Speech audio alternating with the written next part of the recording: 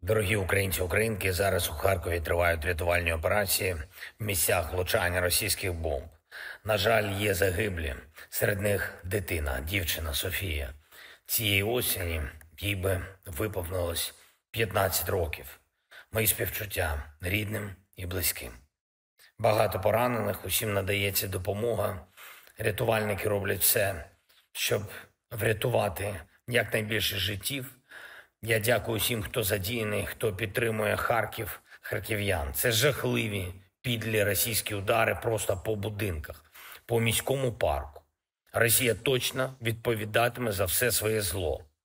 Але кожен у світі має пам'ятати, що не дати злу діяти це найбільш ефективна тактика. Потрібні рішення, які можуть ухвалити партнери, саме ті країни, від яких залежить, чи є у нас здатність знищувати російську військову авіацію, і саме там, де вона базується, саме там, де ліквідувати цих терористів та їхню авіацію можна найбільш результативно. Ми в Україні та наші друзі в світі не просто так кажемо про далекобійні рішення, про сильні рішення, про те, що може наблизити завершення цієї війни. Бо найголовніше для Путіна в його війнах терор проти цивільних, залякування і знущання з людей. І саме так російське зло прийшло всюди, і в Сирію, і в Грузію, і в Україну. Це у них всюди однакова тактика терору. Треба поставити на цьому крапку. Це може забезпечити наша українська далекобійність, відповідна підтримка для наших сил оборони і системи ППО для України. Все те, про що ми говоримо з партнерами.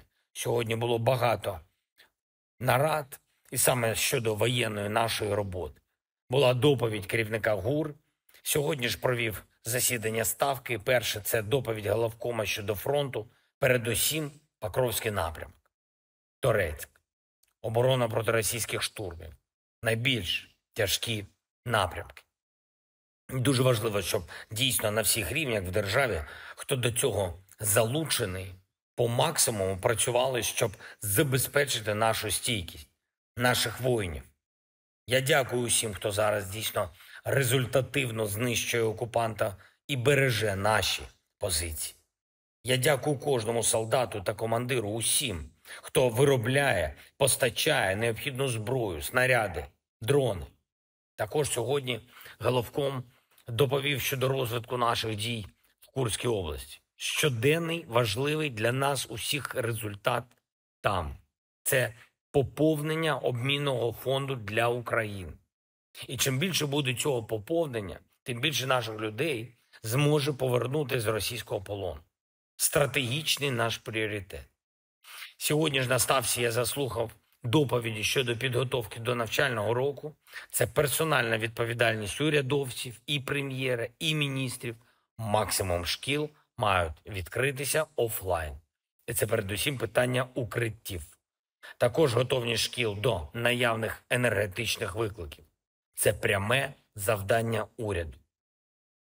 Було сьогодні кілька важливих розмов щодо енергетики, наслідків ударів і захисту, який повинен бути. І неодноразово на засіданнях ставки говорилося, вирішувалося, що робити, як діяти, чим забезпечити. Зараз час висновків. Я вирішив замінити командувача повітряних сил Збройних сил України. Я безмежно вдячний всім нашим військовим льотчикам, всім інженерам, всім воїнам мобільних вогневих груп, розрахунків ППО.